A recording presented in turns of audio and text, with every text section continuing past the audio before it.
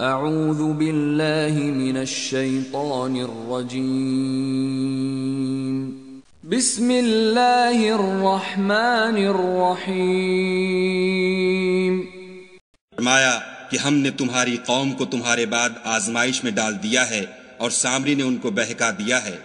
کہنے لگے کہ ہم نے اپنے اختیار سے تم سے وعدہ خلاف نہیں کیا، بلکہ ہم لوگوں کے زیوروں کا بوجھ اٹھائے ہوئے تھے۔ پھر ہم نے اس کو آگ میں ڈال دیا۔ اور اسی طرح سامری نے ڈال دیا۔ سامری سے کہنے لگے کہ سامری تیرا کیا حال ہے؟